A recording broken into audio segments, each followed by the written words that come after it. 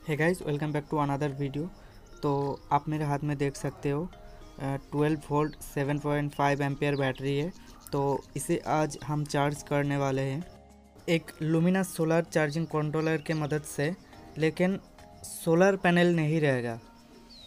तो इधर मैं सोलर पैनल इस्तेमाल नहीं करूँगा, लेकिन अच्छे तरह से बैटरी को फुल चार्ज कर देगा।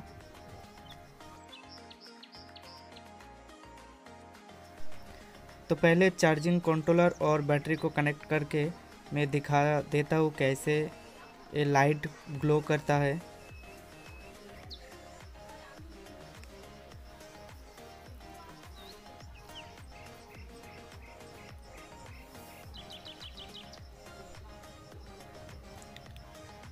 तो आप देख सकते हो, ये ऑरेंज कलर की कुछ लाइट जला हुआ है। ये इंडिकेट कर रहा है कि 70 परसेंट चार्ज से कम है। तो यहाँ पे मैं एक अडेप्टर यूज़ कर रहा हूँ, लेकिन आप देख सकते हो output 12 point twelve volt two ampere है तो इससे फुल चार्ज नहीं होगा।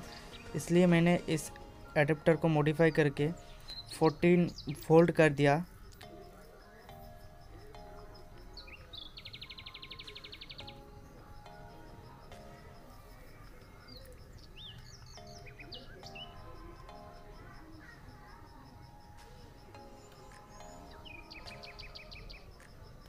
तो आप देख सकते हो 14 वोल्ट है इसमें।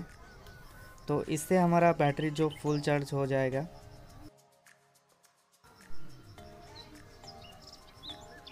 तो दोस्तों अगर आपके पास एक आ, सोलर कंट्रोलर और एक बैटरी है तो उसे चार्ज करने के लिए आपको सोलर पैनल ज़रूरत नहीं है। आप सिर्फ़ एक डी टी एच लेके उसे मॉडिफाई कर देना। तो मॉडिफाई करने के लिए आई बटन पे लिंक आएगा उसे देख के आप मॉडिफाई कर सकते हो। उस वीडियो में मैंने दिखाया आ, कैसे वेरिएबल रजिस्टर के मदद से आप वोल्टेज कम या ज़्यादा कर सकते हो। तो ज़रूर वो वीडियो देखना। तो एडेप्टर के मदद से कैसे चार्ज होता है वो दिखाता हूँ।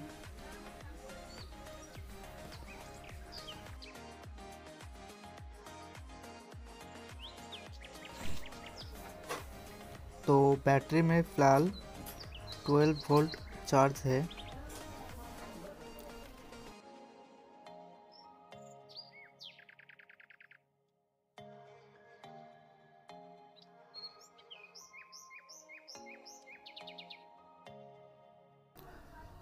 तो आप देख सकते हो कंट्रोलर के मिडिल वाले एलईडी में ग्रीन लाइट जल चुका है। इसका मतलब 70 प्लस वोल्ट अभी बैटरी में हो गया। तो इस बैटरी को अच्छे एक लुक देने के लिए मैंने एक कैबिनेट तैयार किया। थोड़ा सा इन्वर्टर के तरह लुक आता है। तो इतना ही था वीडियो में। Thank you for watching